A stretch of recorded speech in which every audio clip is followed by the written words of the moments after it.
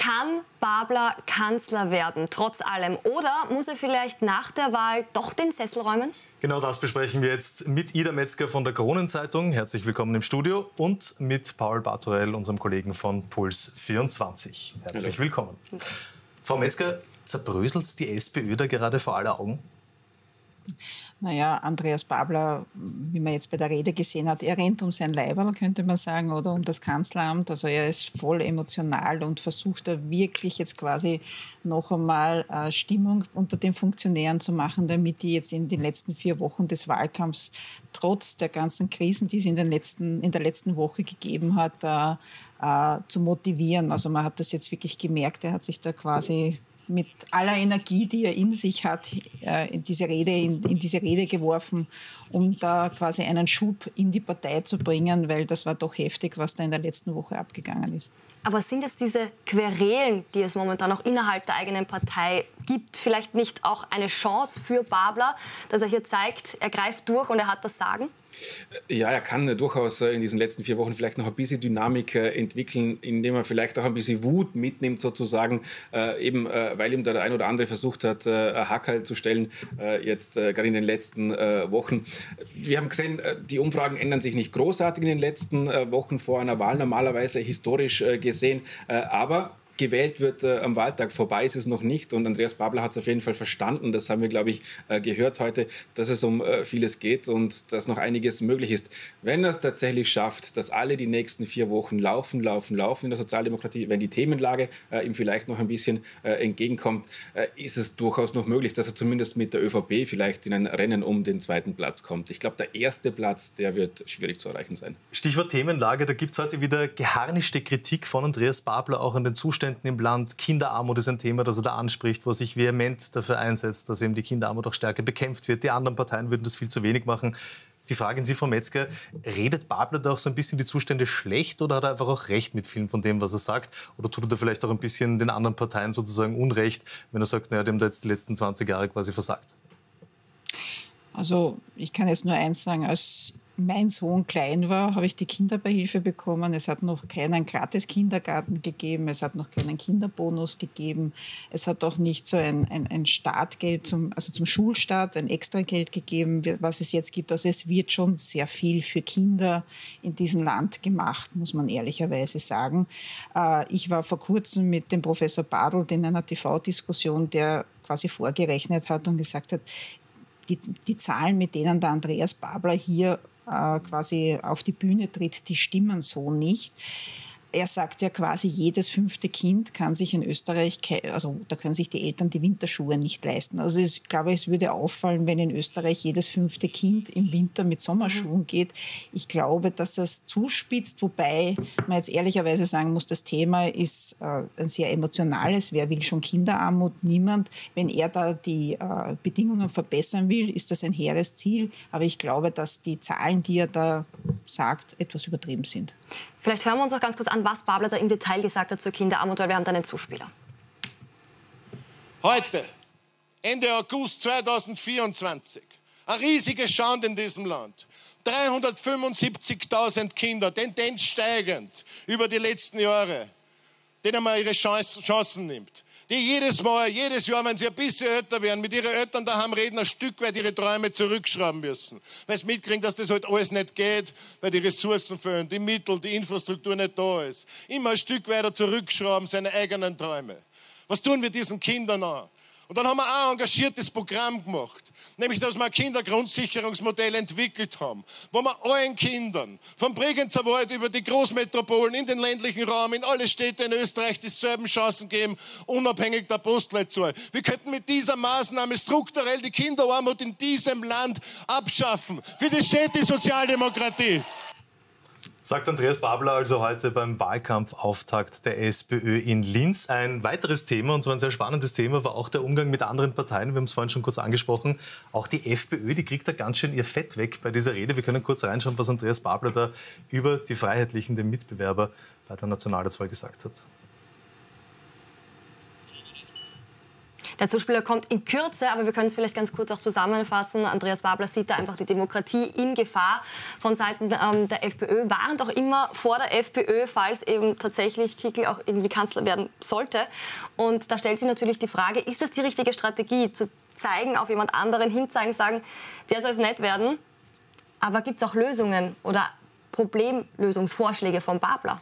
Ich glaube tatsächlich, er macht gar nicht so viel, äh, wie wir äh, es quasi wahrnehmen oder im äh, Kopf haben, wenn man sich die ganzen Babler-Reden äh, mal ansieht, von vorne äh, bis hinten, äh, dann verwendet er oft, glaube ich, nur einen kleinen Teil äh, auf den politischen äh, Gegner. Ja, es kommt immer wieder vor tatsächlich, es kommt in den Kampagnen, glaube ich, auch öfter vor, in den Sujets, online beispielsweise. wenn man sich eine ganze Babler-Rede anhört, kommt, glaube ich, eher wenig vor oder nimmt wenig Platz tatsächlich wirklich ein.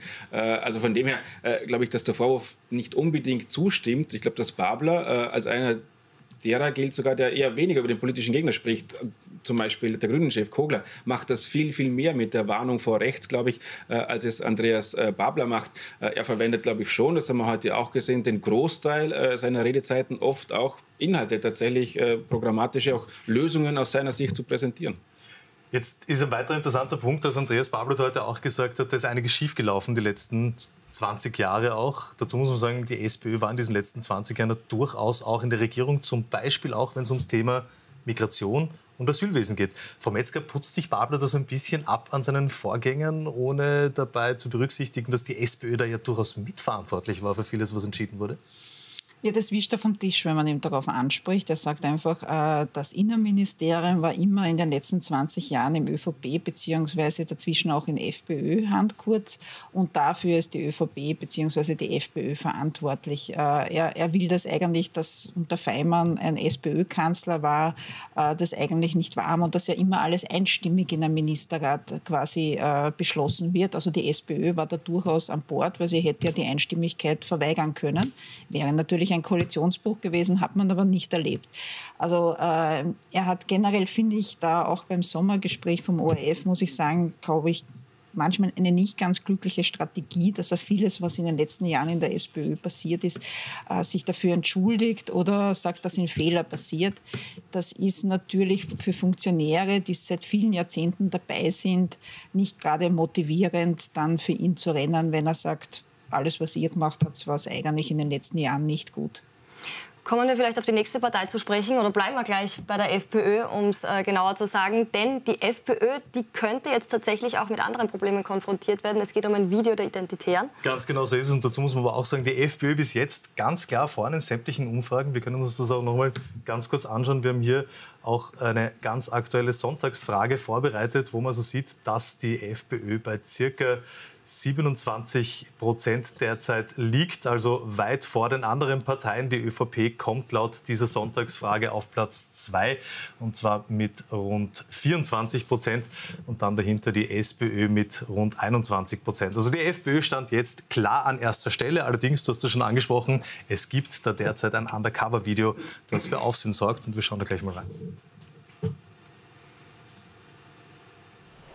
Auf heimlich gefilmten Partyszenen zweier RTL-Journalistinnen auf einer Feier der rechtsextremen Identitären in Wien fordert eine Besucherin einen Genozid an Muslimen.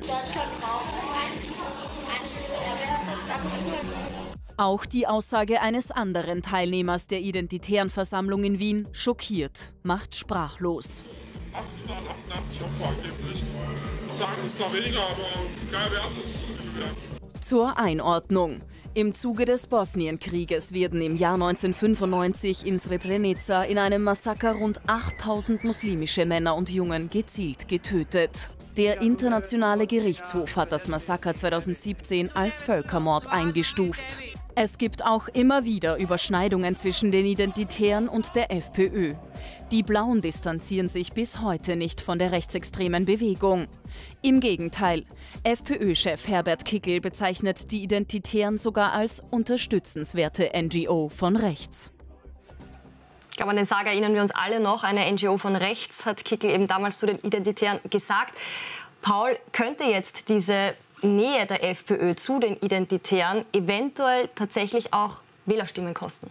Man wird sehen, äh, was das für eine Dynamik annimmt, glaube ich, relativ schnell in den nächsten äh, Tagen. Es gibt jetzt die ersten Medienberichte äh, darüber. Ich habe den Eindruck, es wird noch nicht ganz, ganz groß gespielt. Natürlich, der politische Gegner, der wird es aufnehmen. Man merkt es auch schon, die ÖVP äh, geht schon ein bisschen äh, in diese Richtung. Es wird sicher auch, äh, glaube ich, eine Relevanz haben in den Fernsehduellen. Das wird man aufnehmen und das wird man thematisieren, weil es eben auch so visuell ist, weil dieses Bild da ist, weil dieser Saga da ist. Andererseits, die FPÖ distanziert sich klar von diesen Aussagen. Die Identitären selbst distanzieren sich auch äh, auf Ex klar von diesen Aussagen. Also vielleicht schafft man das auch äh, ein bisschen wegzudrücken. Wie gesagt, das hängt vielleicht auch ein bisschen von der Themenlage ab in den nächsten äh, Wochen. Äh, das kann eine Dynamik, glaube ich, annehmen, hängt auch von der medialen Berichterstattung ab äh, und wird definitiv äh, eine Relevanz haben, spätestens in den Fernsehduellen. Paul, hast du schon angesprochen, die FPÖ, die distanziert sich heute von diesem Genozidsager, nicht allerdings von den Identitären selbst. Hören wir vielleicht mal rein, was Christian Hafenecker, der Generalsekretär der FPÖ, da heute zu Protokoll gegeben hat. Wenn Sie mich jetzt fragen, ob man sich von irgendetwas distanziert, dann sage ich Ihnen ganz klar, wir distanzieren uns ganz sicher nicht, so wie die ÖVP, vom Demonstrationsrecht in Österreich. Jeder Bürger hat das Recht, in Österreich demonstrieren zu gehen, vor allem dann, wenn es eine genehmigte Demonstration ist, wie es diese war. Und diese Diskussion mag in die Richtung auch gar nicht mehr weiterführen und dass es vielleicht auch freiheitliche Parteimitglieder oder Mitglieder der Jugendorganisation gegeben hat oder sonstige Bürger, die einfach mit der Islamisierung und mit der Zuwanderung, mit der Ungezügel in diesem Land unzufrieden sind, dass die äh, von ihrem Demonstrationsrecht Gebrauch machen. Äh, dahinter stehe ich völlig und vollkommen. Die Frage ist jetzt, Frau Metzger, reicht das, diese Aussage jetzt von Hafenecker, um sich zu distanzieren? Also ich bin der Meinung meines Kollegen vis-à-vis, dass das quasi ähm, nächste Woche beginnen die ersten Duelle. Es ist die erste Elefantenrunde. Also die politischen Gegner werden auf diesem Thema unheimlich drauf rumreiten. Dadurch wird es größer, als wenn jetzt nicht Wahlkampf wäre, weil es jetzt bis am 29. September ein Wahlduell nach dem anderen ist. Ich bin mir auch sicher, dass dann auch der Ausdruck Volkskanzler äh, auch noch dann ein, ein, eine Rolle spielen wird, wie der historisch quasi der Konnex dazu ist zu zu Hitler etc. Das wird bei den Wahlkampfduellen ein, ein großes Thema werden. Also insofern äh, könnte es den ähm, also quasi bei, dem, bei den Wählern schon noch ein bisschen Bewegung bringen. Ich glaube jetzt nicht, dass da große Sprünge drinnen sind.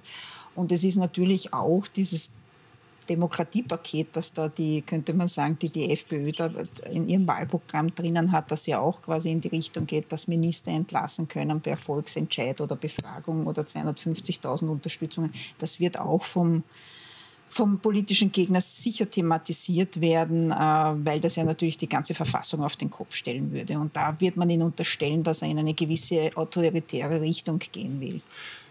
Der politische Gegner wird darauf rumreiten, sagen Sie, das hat auch heute schon getan. Vizekanzler Werner Kogler sagt da unter anderem kein Fußbrett im Faschismus und spricht Herbert Kickl als Führer der Freiheitlichen an.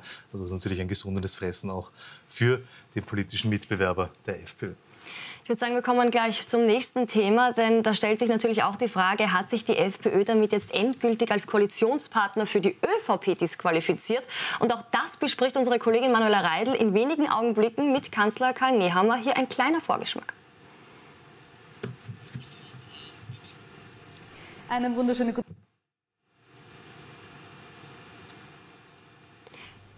Einen wunderschönen guten Abend aus dem Bundeskanzleramt. Ja, ganz richtig, wir besprechen neue Erkenntnisse zum vereitelten Anschlag auf das Taylor Swift-Konzert in Wien, die uns heute aus den USA erreichen. Wir besprechen die vielen, vielen, vielen Entlastungsmaßnahmen für die österreichische Wirtschaft, die Karl Nehammer für den Wahlkampf vorschlägt und wie diese vielen Maßnahmen wohl vereinbar sind mit dem hohen Schuldenstand, den wir ohnehin schon haben in Österreich. Wir besprechen umstrittene neue Straßenbauprojekte, überhaupt seine Einstellung zum Klimaschutz. Wir besprechen, welche Koalitionen nach den Wahlen möglich sein werden. Ich hoffe, Sie sind mit dabei.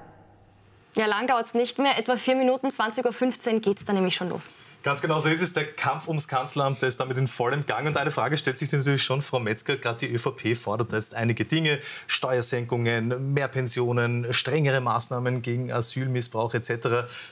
Die ÖVP war aber ihrerseits mehr als 30 Jahre lang jetzt in der Regierung. Ist sie glaubwürdig, ist sie glaubhaft, wenn sie jetzt diese Forderungen aufstellt? Die hätte sie doch schon längst alle selbst erfüllen können. Naja gut, die waren nie in einer absoluten Mehrheit. Ne? Also man hat halt immer einen Koalitionspartner, man muss Kompromisse finden und Kompromisse sind oft mühsam. Äh, und äh, da ist es mal so, da setzt sich einmal der eine durch und dann wieder der andere. Also, also quasi freie Hand haben sie ja nie ganz gehabt. Aber es wäre jetzt auch irgendwie verwegen, wenn man sagt, ein Kanzler, also derjenige, der der Kanzler ist, darf jetzt kein Wahlprogramm mehr vorlegen, weil er war ja jetzt eh fünf Jahre in der Regierung und hätte es durchsetzen also können. Ähm, wenn man das so will, dass der Kanzler alles durchsetzen kann, dann müsste man das Wahlrecht bei uns ändern und ein Mehrheitswahlrecht machen. Das haben wir nicht. Also insofern wird es immer der Kompromiss da sein müssen und nicht jede Partei wird sich in einer Koalition zu 100 Prozent durchsetzen. Das ist ja sozusagen eine Vision, die er vorlegt. Ob er dann am Ende alles durchbringt in der Koalition, ist immer offen. Ne? Paul, jetzt war die ÖVP aber mit einer vergleichsweise kleineren Koalitionspartner in einer Koalition hat sich da in vielen Themen sehr wohl durchgesetzt gegen die Grünen. Kann man das wirklich so argumentieren oder hätte da die ÖVP vielleicht durchaus mehr noch durchbringen können, was sie jetzt fordert? Vielleicht hätten sie eine andere Prioritätensetzung haben äh, können. Äh, allerdings, und äh, ich will die Regierung nicht unbedingt nur verteidigen, äh, aber wir hatten eine Corona-Krise, wir hatten äh, schwere Krise wirtschaftlich äh, wirtschaftlich aufgrund der, äh, des Kriegs äh, in der Ukraine. Äh, und was man auch sagen muss, es ist vielleicht weniger Kritik an der ÖVP, aber eher so ein, ja, äh, Kompliment an die Grünen äh, für einen kleinen Koalitionspartner, wie du richtig äh, gesagt hast, haben sie taktisch tatsächlich teilweise sehr forsch agiert, haben einiges durchgesetzt. Ähm, gerade Leonore Gewessler, die Umwelt- und Klimaministerin, und auch Werner Kogler, als es beispielsweise darum ging, ob Sebastian Kurz zurücktreten muss oder nicht, die haben da taktisch nicht unklug grundsätzlich agiert und gewisse Sachen durchgesetzt, auch die man ihnen vielleicht als eben der kleine Koalitionspartner nicht zugetraut hätte. Aber grundsätzlich natürlich muss man sagen, eben eine Koalition, egal wie groß die Partner sind, besteht immer aus Kompromissen. Man hat ein gewisses Wahlprogramm, das man sich ausmacht, auch davor. Da stehen gewisse äh, Dinge äh, drinnen äh, und die versucht man abzuarbeiten. Äh, so ist das Wesen eben einer Demokratie. Das Wesen einer Demokratie ist natürlich auch, dass der Stimmenstärkste normalerweise den Auftrag bekommt, eine Regierung zu bilden. Dieses Mal wird es ein bisschen komplizierter, Frau Metzger. Es sieht danach aus, als würde die FPÖ klar an erster Stelle landen. Wie ist da der derzeitige Stand? Gibt es da mittlerweile ein Abweichen von dieser, man muss schon fast sagen, Doktrin, nur ja nicht mit Kickel in eine Koalition? Bewegt sich da schon was oder ist das absehbar, dass es da keine Koalition mit der FPÖ und der Kickel geben wird? Also ich traue mich jetzt fast Folgendes hier zu sagen. Also wenn Karl Nehammer an der Spitze der ÖVP bleibt, dann und er sozusagen äh, Regierungsverhandlungen machen wird, also im, im, Auftrag der ÖVP, wird es keine Koalition mit der FPÖ geben. Scheitert er damit und kriegt nichts mit der SPÖ zusammen und muss dann zurücktreten, dann weiß man nicht, wie es weitergeht. Frau Metzger, vielen Dank für die Einschätzungen. Auch dir, lieber Paul, danke fürs Kommen und für die Analyse.